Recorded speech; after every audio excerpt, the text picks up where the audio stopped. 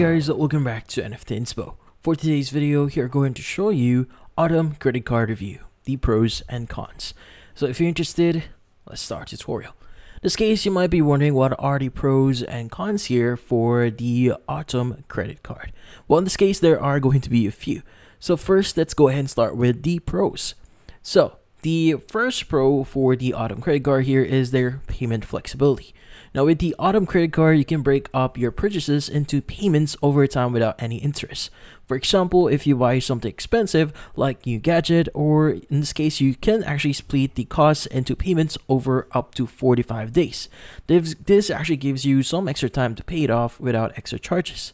Now, one of the biggest advantages as well here with Atome Credit Card is that there is no annual fees, no sign-up fees, and no hidden charges. So you don't have to worry about paying extra just for having the card. They also have a decent credit limit here. So the card offers credit limit up to 200,000 Philippine peso, which is pretty good if you need to make larger purchases.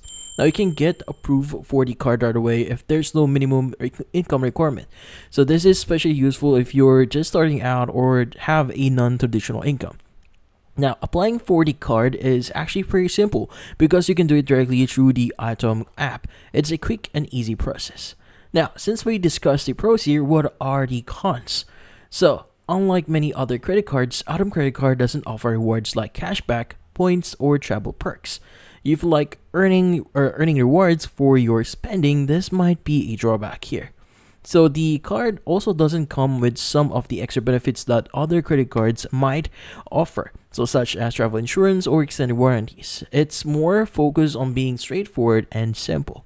Now, overall, the Atome credit card is a great option if you want something simple with no fees and flexible payment option. It's ideal if you prefer to avoid interest on your purchases and appreciate a hassle-free approval process. However, if you're looking for rewards or additional perks, you might want to consider other credit cards. If keeping things straightforward and cost-effective is your goal, then this card could be a good fit for you. And that's about it. So hopefully this video was able to help you. Like and subscribe to NFT Inspo. Thank you for watching.